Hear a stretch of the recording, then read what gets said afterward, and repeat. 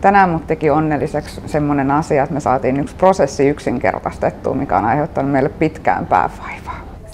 Mut on tehnyt tänään onnelliseksi se, että mä sain just murskattua yhden tosi viheliäisen bugin. Ja sit se on mun mielestä kans tosi hienoa, että siihen on enää yksi viikko, kun Marty ja Emmet saapuu tulevaisuuteen. Mutta on tehnyt tänään onnelliseksi kaunis syksyinen päivä. Ja sitten se, että töiden jälkeen mä pääsen laittamaan meidän uutta kaunista kotia kuntoon. Mut on tehnyt tänään onnelliseksi mun aivan mahtava avulias tiimi ja muutenkin ihana työyhteisö.